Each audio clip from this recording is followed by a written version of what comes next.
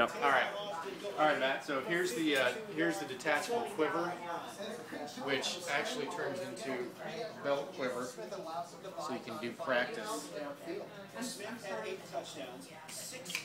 like so. It attaches at your hip if you want to carry on your hip. I'll show you how to do how to attach the bow.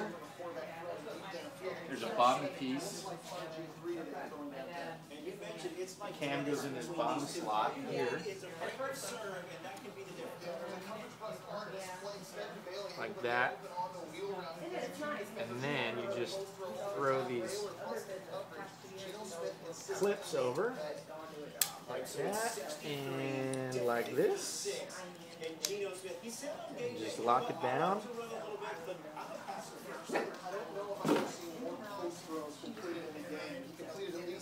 Pick it up.